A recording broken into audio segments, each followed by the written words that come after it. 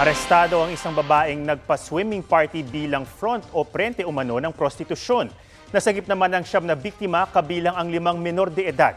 Yan ang tinutukan ni John Consulta, exclusive.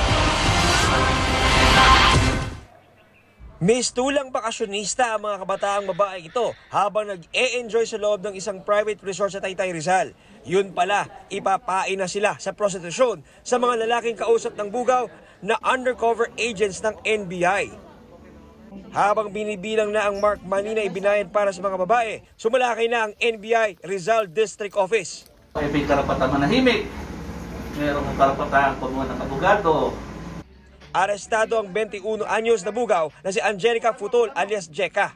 Siya ay nag, uh, uh, nag-organisa ng uh, swimming party para sa mga bata na, na kanyang uh, minimaintain na at iaalok sa mga customer. Doon na rin sa mismong resort isinasagawa uh, dahil may mga lupahan ng mga, mga kwarto o silid dito at pwede na doon mismo isagawa ang uh, ang uh, uh, kanilang uh, uh, serbisyo Siyam na babae ang nasagip sa operasyon. Lima dito ay mga menor de edad. Isang libo raw ang kita ng bugaw sa kada babae kinukuha ng mga parokyano. Mas mataas ang presyo kapag mas bata ang mapipili. Todo tanggi ang suspect sa paratang. Hindi naman din po nila sinabi sa akin yung mga edad nila talaga. eh. 18 daw po sila, eh, 18. Ganun. May sarili naman po silang pag-iisip. Alam na po nila yung tama at mali. Pero ayon sa NBI, base sa kanilang surveillance video, alam ng suspect na menor ang mga biktima.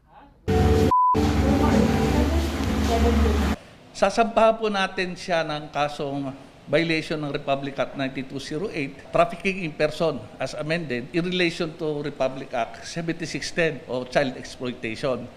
At pagkatapos po siya na malitis, ay maaari po siyang patawan ng kaparasahan ng hababuhay na pagkakakulong.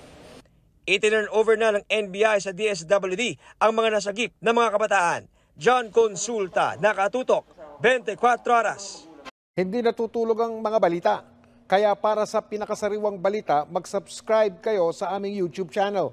Para sa mga kapuso abroad, pwede nyo rin kaming makasama sa GMA Pinoy TV at sa www.gmanews.tv.